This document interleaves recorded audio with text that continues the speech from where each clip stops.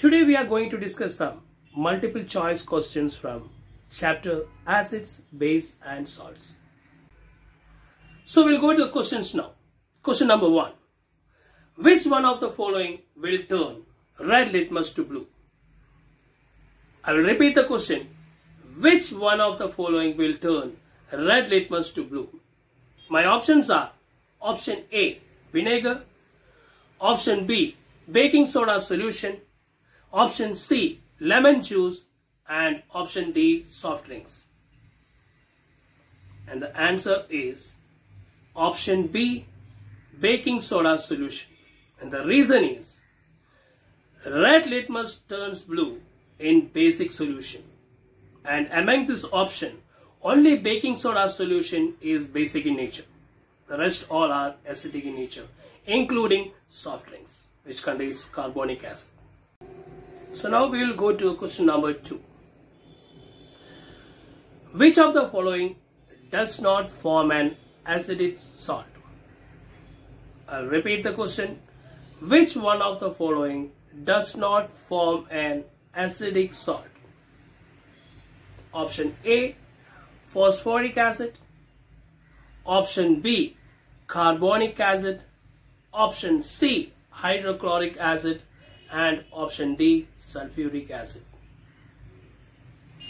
Answer is option B, carbonic acid. Because it's a weak acid. And to form an acidic salt, strong acid is required. So students will go to the third question. Here it is. Some fruits like mango, lemon, raw grapes, etc. have a sour taste due to the presence of. Repeat the questions. Some fruits like mango, lemon, raw grapes, etc. have sour taste due to the presence of option A. Acetic acid, option B. Citric acid, option C. Lactic acid, and option, option D. Oxalic acid. Correct answer is option B. Citric acid. So students, we move on to the fourth question. And question is, which of the following phenomena occur when a small amount of acid is added to water?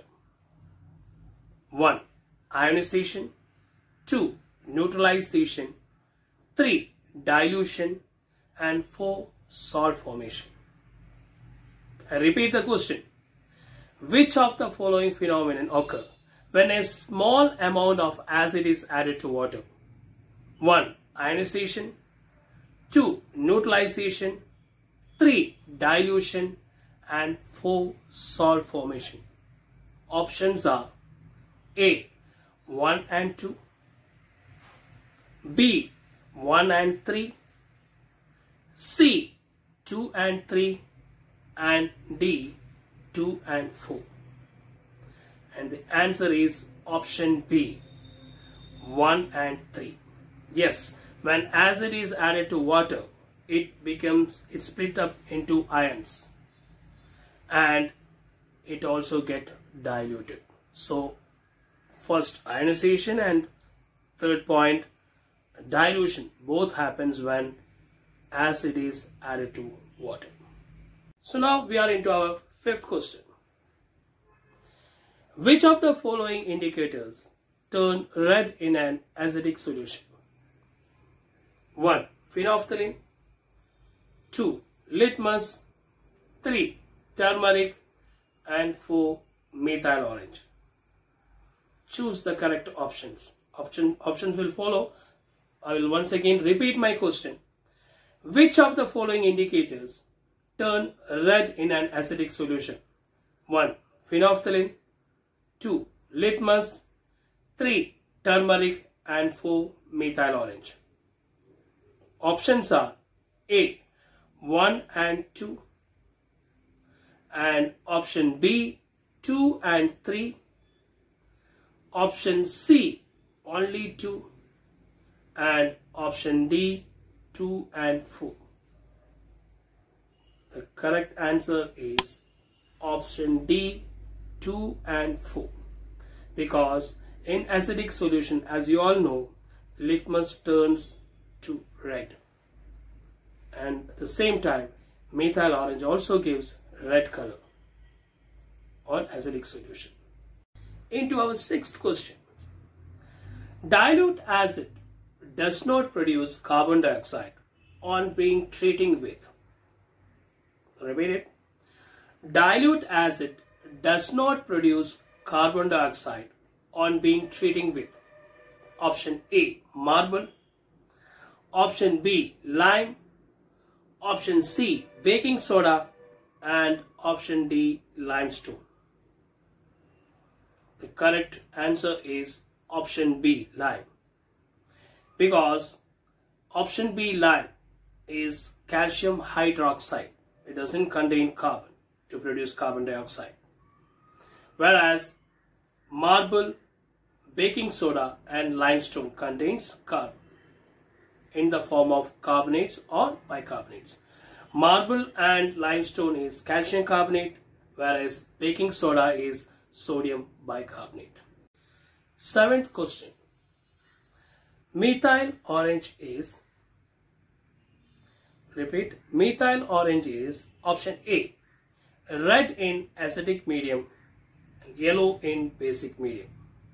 Option B yellow in acidic medium and red in basic medium. Option C colorless in acidic medium and pink in basic medium. Option D pink in acidic medium and colorless in basic medium. And the correct answer is option A red in acidic medium and yellow in basic medium. Methyl orange is red in acidic medium and yellow in basic medium. Next question is the nature of calcium phosphate present in tooth enamel is. I'll repeat.